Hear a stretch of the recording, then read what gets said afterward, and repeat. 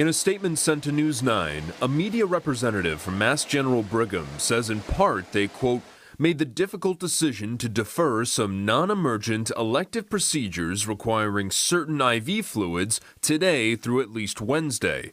Dawn Beers, public affairs manager at Concord Hospital, says that's not the case for them. We at this point are just, um, again, using these conservation strategies, being mindful of um, the situation, and obviously do not want to compromise uh, patient care in any regard. Since Baxter is one of their suppliers, they're monitoring the status of IV fluid.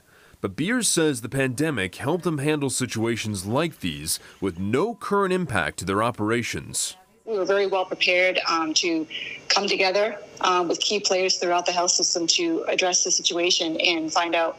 Uh, and then from, from there, we had like little subcommittees that we set up too that worked on um, recommendations. Chris Stawasz is the regional director for American Medical Response. He says their ambulances use a different supplier and aren't concerned about how much IV fluid they have in the ambulance world, um, we tend to use resources as prudently as possible, and that will come into play even more throughout New Hampshire as these IV shortages um, uh, come to play uh, in the EMS area. Stawasz adds if a supply emergency did happen, the state has backup stores available.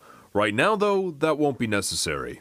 I don't believe that this is going to impact patient care in any way, and people should feel confident that their EMS provider will be able to have the IV fluids in their emergency departments um, that they need to, to get the care that they need.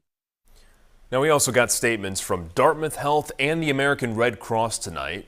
Dartmouth says it doesn't expect any disruptions in care either, while the Red Cross monitors the national supply in the aftermath of the storms. You can read the full statements online at WMUR.com.